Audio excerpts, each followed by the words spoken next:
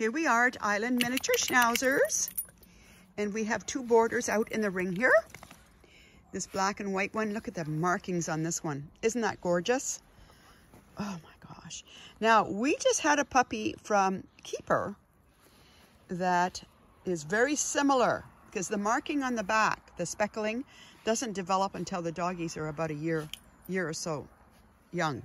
So my puppy is is uh, the black bummy and the black head with a beautiful white stripe in the head and the rest of it is white. So I'm hoping to get this, this particular um, markings on my puppy. I'm really hoping for that. So anyway, she's, she's um, a boarder and we're going to go up and talk to some men up by the house. So we're going to go. I just wanted to do a little video so that um, your mummies and daddies can see their puppies.